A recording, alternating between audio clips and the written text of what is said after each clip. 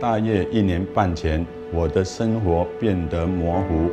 有一天，我在看电视时，突然我所看到的都变成了黑与白，直线看起来是弯曲的。我之后被诊断出患有 AMD。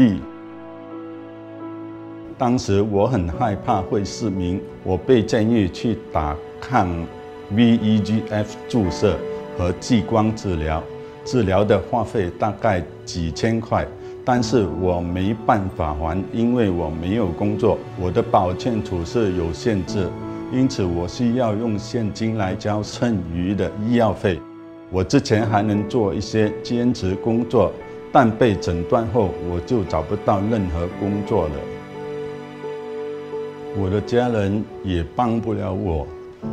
我的妹妹需要照顾另一个患有痴呆的妹妹，而我的姐姐需要照顾她卧床的丈夫。一位社工介绍了 Vision Safe 给我，我申请后有足够的钱来支付激光治疗和抗 VEGF 注射。现在我渐渐又能看见颜色了，我非常感激 Vision Safe 的协助，希望有更多人支持 Vision Safe。